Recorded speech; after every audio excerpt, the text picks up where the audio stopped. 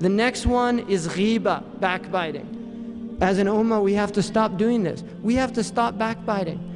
Each individual has to make a commitment. And when you hear people backbiting, you have to tell them, I don't want to hear this. I can't hear this.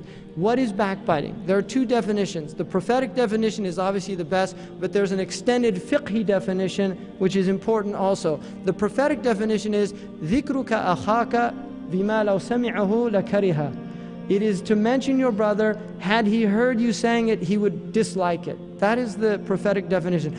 The, the faqih's definition is an extension of that which says that it is to make mention of your brother in a distasteful way in which there's no need. In other words, sometimes it's necessary to say things about your brother uh, for, for reasons, and the ulama, they give uh, reasons for it.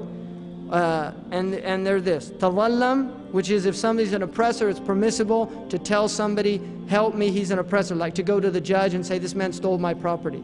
He wouldn't like to hear that but it's permissible in that position. Wasta'in, to seek help. Help me, this here's an oppressor here. Or help come, somebody's stealing, something like that.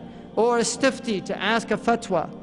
So if you go to a faqih and say, uh, my husband does this, this, and this. Like Hind, the, the wife of Abu Sufyan, went to the Messenger of Allah and said, Inna Abu Sufyan rajulun shahihun. He's a miserly man. If Abu Sufyan heard that, he'd be really upset. But she was telling him because she wanted a fatwa about whether she could take his money without his permission. So it's permissible in that case. Hadir, to make, to warn people about uh, somebody. Like if you've had a transaction with somebody and he's done wrong things, and somebody comes to you and says, Yeah, you used to be in business with that person. I was thinking about going in business. What do you say? And you say, don't go in business with him. I had a bad experience. That is not ghiba, that's nasiha. The ulama make a condition, and that is that you don't add anything onto it that's not necessary. So you don't say, and by the way, he beats his wife, and by the way, he drinks, and by the way, right? You just leave it to what he needs to know about it, right? Seriously, and it's a temptation. Because if somebody did something wrong to you, and this is a proof of what Sidi Muhammad Sharif was saying in his talk, it's a proof of that that you only tell people what they need to know. Look at Ibn radiallahu anhu. When he divorced his wife, one man came to him and said, Why did you divorce your wife? And he said, I don't want to make ghiba. Because obviously there was something that was displeasurable. And then he said, uh, he asked him, uh, you know, do you, well, do you think I should marry her? Like he asked him something like that. And he said, uh, no, he asked him what, what her mu'ashara was like, and he said, uh, I'm no longer married to her, so I have no right to tell you anything about her personal life. And that, that's taqwa. That is simple as that. How many people now will spend the rest of their lives complaining about their divorced wife or husband? To everybody that'll give them an ear. 20 years I put up with that man. I used to bring him tea, and he'd say, It's not hot enough. I used to make him food and he'd say, Where'd you learn how to cook? Really? How many? There's a lot of people like that. And then there's men like that. I, that woman, all she did was scream at me. Ten years I put up with that. Finally, I got rid of her. Right?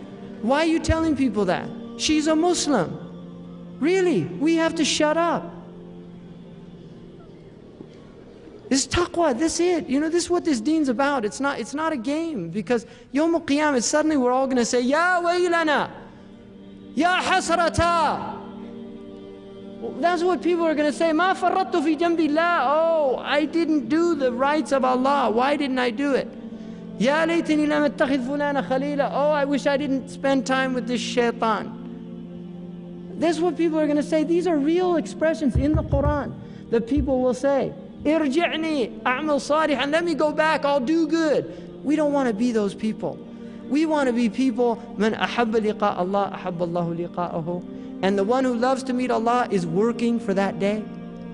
That's the proof. It's not, oh yes, I want to die and meet Allah. I can't wait. The, many of the Sahaba were afraid because they weren't, they didn't feel prepared yet. And that's why the Messenger of Allah said, don't desire death. Because either you're a bad person and you still have time to make tawbah and do some good things before you die, or you're a good person and you want to increase in your goodness. Allahu Akbar. وَجَعَلَ الْحَيَاةَ زِيَادَةً لِي فِي كُلِّ خَيْرٍ in Sahih Muslim. Make my life increase in every good.